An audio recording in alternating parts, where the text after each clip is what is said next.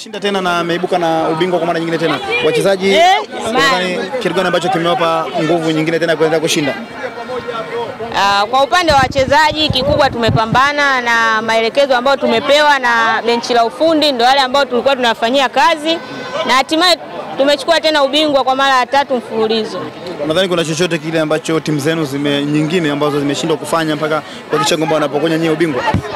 Hamna, wapo watu- wapo walichokifanya, wamefight, wamepambana, lakini kuna muda tunasema bahati na ubora kutokana na timu ndo kimeweza kufanya sisi tukachukua tena ubingwa. Mmecheza katika viwanja mbalimbali, kiwanja gani ambacho kilikuwa kigumu kwenu? Viwanja vyote ni vigumu, huwezi kusema kiwanja kuna kiwanja kirahisi, kwa sababu kila timu inakuwa imejipanga kwenye uwanja wake. Kwa hiyo lazima kuwe na kuwe na tofauti ya viwanja ya kila aina ya kiwanja. Huwezi kusema kiwanja hichi rahisi, kiwanja hichi sio rahisi. Kila kiwanja kina ugumu wake. Mmecheza mara kadhaa na Yanga Princess na katika msimu huu mechi ya mwisho wamewafunga. Mlijisikiaje baada ya kufungwa? lazima tujisikie vibaya kwa sababu tulienda kila, kila timu ikienda uwanjani inaenda kwa ajili ya kushinda. Kufungwa ni matokeo ambayo yanakuja baadaye, lakini kwenye mpira hamna timu kila siku itakuwa inashinda. Lazima kuna timu siku moja mtapoteza, ili mjipange, mjue makosa yenu yalipo. All in all tumefungwa na Yanga, lakini bado tumeweza kuchukua ubingwa. Uh, ushindani wa ligi ulivyokuwa unasema nilikuwa mgumu, labda pengine timu gani ambayo nikupa changamoto sana?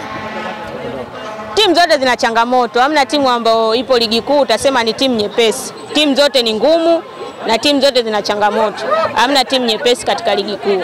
Mtaani kuna mabinti wengi kama wewe ambao pengine wanatamani kucheza, wengine wanaogopa. Unalipi la kuambia?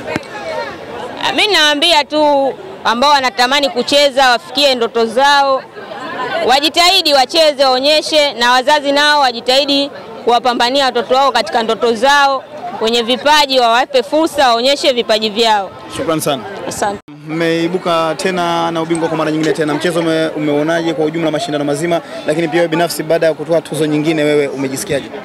Nimejisikia Uh, furaha sana kwa sababu pindi ligi ilivyoanza tulijiwekea malengo tuweze kuwa mabingwa tena mara tatu mfululizo.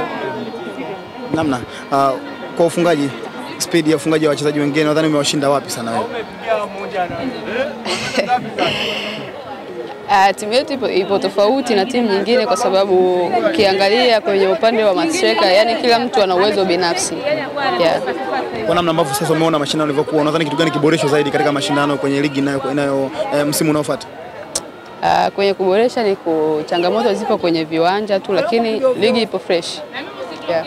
Shukrani sana.